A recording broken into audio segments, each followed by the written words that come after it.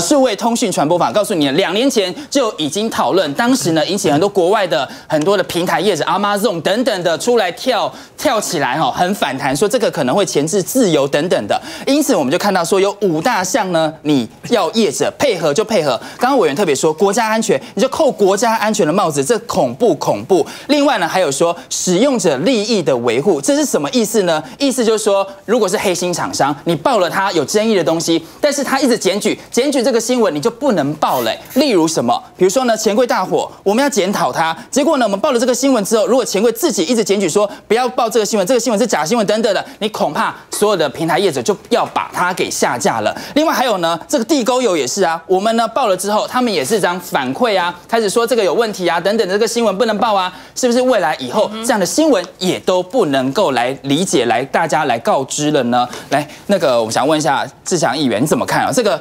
数位通讯传播法卷土重来，而且呢，这些议题都不能讨论了吗？其实千错万错都是中天的错了，都是我们的错，都是中天的错。因为你去看，其实民进党所有的布局，他要创造就是一言堂的绿色威权嘛。那他最先开始拿中天这个下手开刀，你会发现他开完刀把中天这个关台之后。就没想到中天，你马上在这个 YouTube 上就创造将近两百三十万的订户哈。那对他而言的话，他的终极目标是要一言堂，嗯，就是要搞实质独裁。所以，当你一到网络上，你可以还可以蓬勃发展的时候，你就发现，你会发现 NCC 它其实是在中天网络更加的随着成功之后，对，它就加速要进行网络戒严。我就直接讲是网络戒严。可是我要回头说一件事情，我也要坦白讲。网络上很多什么 BBS 啊，或者是一些网络上的一些准备被这个 NCC 哈找去背书、找去招安的这些人哈，我觉得你们也不争气了。为什么？你去想想看，一模一样的场景，搞什么数位通传法，搞网管法。如果说今天马政府对不对？好，五年前、六年前、七年前、八年前，马政府如果搞一个网管法。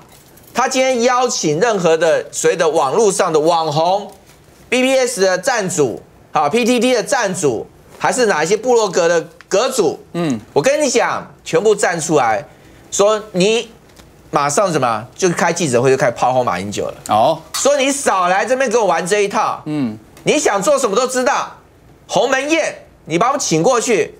我告诉你，根本不该去谈这个法律，还什么开什么研，还是开什么座谈会、研讨会、公听会，拒绝参加，还什么闭门会，我根本拒绝参加。其实说真的，现在民进党很多的做法，我真的觉得最没有骨气的。第一个霸道的是民进党，但没有骨气是那些附和民进党的人。